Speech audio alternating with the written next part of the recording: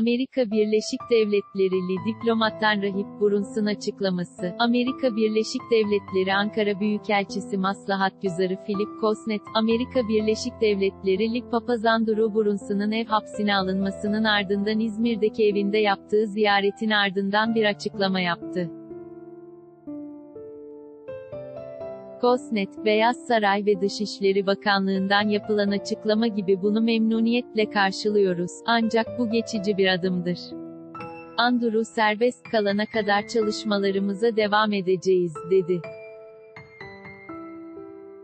Amerika Birleşik Devletleri Başkanı Donald Trump'ın Türkiye'den iadesini istediği ve terör örgütleri adına suç işlediği iddiasıyla yargılanan Amerika Birleşik Devletleri'li papaz Brunson, ev hapsine karar verilmesinin ardından İzmir Buca F tipi Kırıklar cezaevinden yoğun güvenlik önlemleri eşliğinde çıkmış ve İzmir Kahramanlar'daki evine getirilmişti.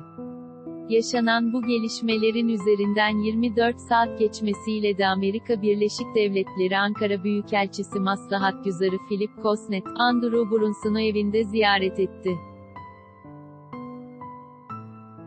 Kosnet, yaklaşık yarım saat süren görüşme sonrası kısa bir açıklama yaparak, Beyaz Saray ve Dışişleri Bakanlığı'ndan yapılan açıklama gibi bunu memnuniyetle karşılıyoruz, ancak bu geçici bir adımdır.